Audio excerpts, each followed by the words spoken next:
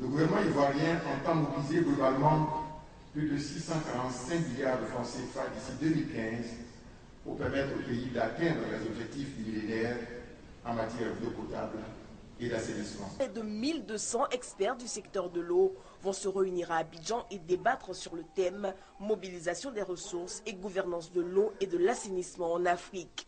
Un sujet d'intérêt prioritaire pour l'amélioration des conditions de vie des populations.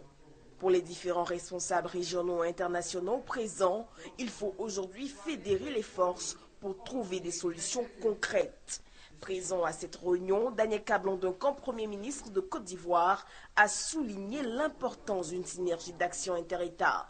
Cette synergie d'action est plus que nécessaire pour accélérer la recherche de solutions viables pour chacun des 40 pays de votre organisation nous devons tous être conscients pour fournir l'eau potable et l'assainissement à nos populations et leur faire adopter de bonnes pratiques, c'est impulser le développement de notre continent. Daniel Kabondeka a aussi annoncé les perspectives de la Côte d'Ivoire sur le plan de l'eau. Le 17e congrès de l'Association africaine de l'eau en terre ivoirienne, une opportunité pour la Côte d'Ivoire.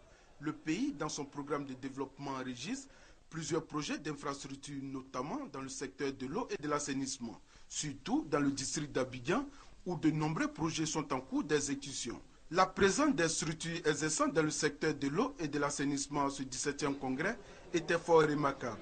On note la participation des 28 exposants issus de la Côte d'Ivoire sur les 112 enregistrés à ce congrès. Notre présence ici, c'est d'échanger avec certains partenaires techniques financiers pour leur proposer notre vision, pour leur proposer notre plan d'action, de sorte à pouvoir avoir des partenariats de financement, de, de collaboration technique pour pouvoir améliorer le service d'assainissement au niveau de la Côte d'Ivoire. Aujourd'hui, vous savez que l'un des thèmes de ce congrès, c'est la mobilisation des ressources. Donc c'est à point nommé qu'on peut dire que ce congrès euh, arrive. Nous discutons avec nos clients, nous euh, écoutons les sessions techniques.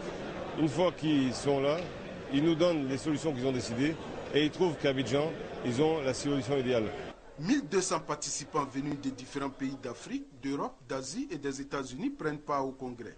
Quatre grands thèmes seront abordés. Le financement des infrastructures pour le développement durable du secteur de l'eau en Afrique, l'assainissement, l'eau non facturée et les villes du futur. Un accent particulier est mis sur l'assainissement et l'eau non facturée. L'eau non facturée, c'est justement cette eau qui constitue éventuellement le gaspillage, que ce soit au niveau des populations ou que ce soit même au niveau des réseaux. L'assainissement est source de maladies, l'assainissement est source de, décès pour beaucoup d'enfants aujourd'hui en Afrique et il est nécessaire vraiment de pouvoir faire en sorte à ce qu'on puisse régler ce problème. La Côte d'Ivoire bénéficie du soutien de 40 pays africains. Ces pays tout comme la Côte d'Ivoire ayant pour la plupart des problèmes d'accès à l'eau potable et d'accès à un service d'assainissement adéquat, ils sont venus se partager les expériences afin d'améliorer le cadre de vie de leur population, mais surtout profiter des opportunités de financement de leurs projets de développement des infrastructures de l'eau et de l'assainissement.